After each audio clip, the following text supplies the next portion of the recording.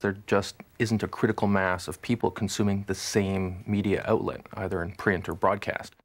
Well, part of that probably has to do with the counterculture of the, the 1960s and 1970s around Vietnam, when uh, the establishment lost its, uh, its moral authority and people stopped believing that they had to uh, be informed about developments in, in Washington or Ottawa because they became very cynical about that sort of thing, and it became fashionable to dismiss politics as irrelevant in people's lives, something that wasn't true, I think, two generations ago.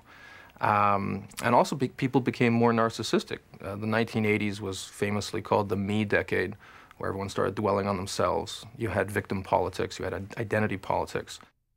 And the idea of being interested in world events merely for the sake of being a good citizen and being educated uh, became out of fashion. If you look at every survey of political attitudes in Western countries, you see that there's a hardening of political attitudes on both sides of the political spectrum.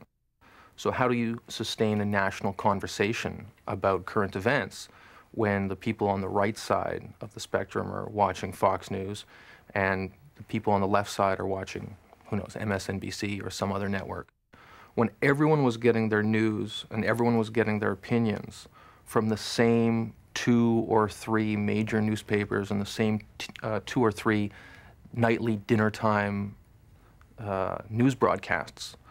Uh, it just was difficult to create an ideological community based on hard right or hard left or hard anything attitudes because you just didn't have the media space available to you.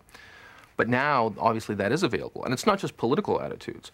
You know, you have communities on the internet, millions and millions of people devoted to all sorts of causes, including causes that can be quite harmful. You have a lot of people, for instance, who believe that you shouldn't vaccinate your kids because it could cause uh, them to get autism. You have groups on the internet who are devoted to hateful ideologies, who are devoted to all sorts of bigoted uh, movements.